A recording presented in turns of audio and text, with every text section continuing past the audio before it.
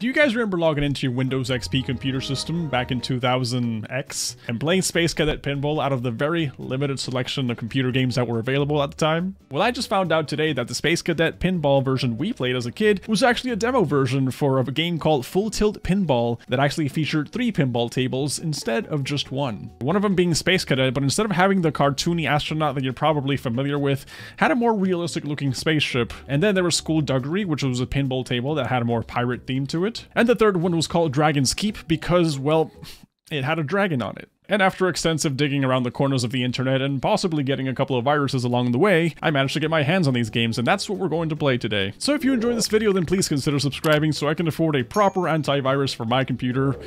Enjoy.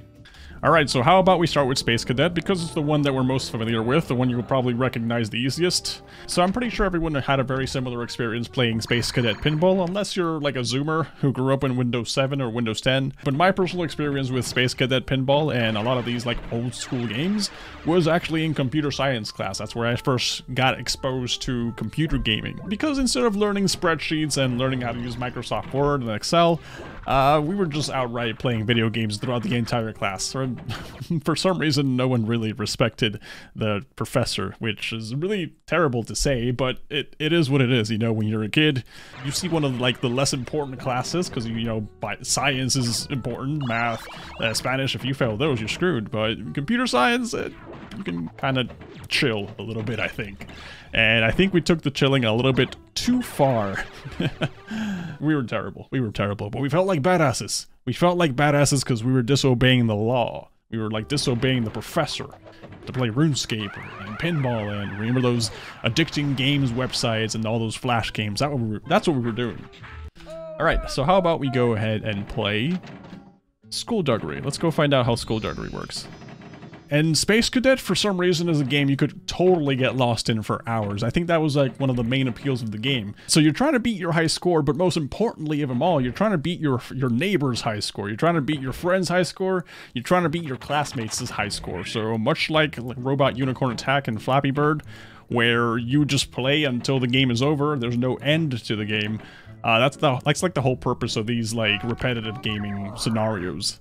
And I think the simplicity of this game is what makes it one of the very few games where the nostalgic value is higher than the actual gameplay value of the game. Because a lot of times when you have nostalgic value for a game, it's because we remember what we were feeling for the game, not because of how good the game was actually was.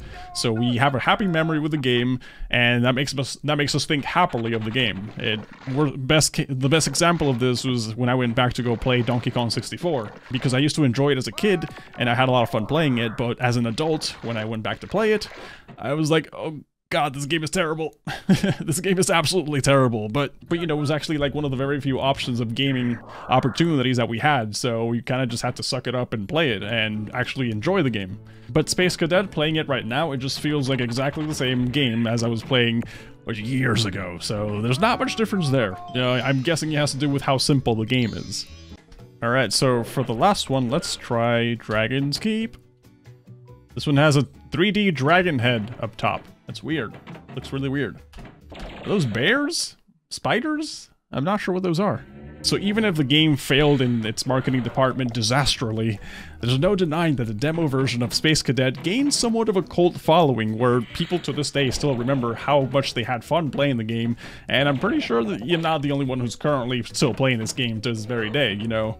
There, there's got to be someone out there who also has a couple of viruses in their computer because they downloaded this game.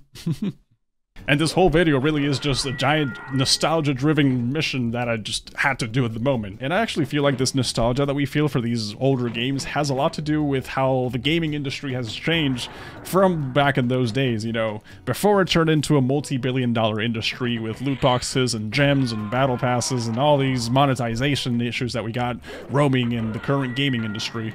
Like, can you imagine if Space Cadet was released today? It would be completely different. It would probably be filled with ads, only a couple of free plays. You gotta spend money to buy a gold or a virtual currency, and then use that gold to buy more plays, or you gotta sit through 45 seconds of ads to just to get more gold.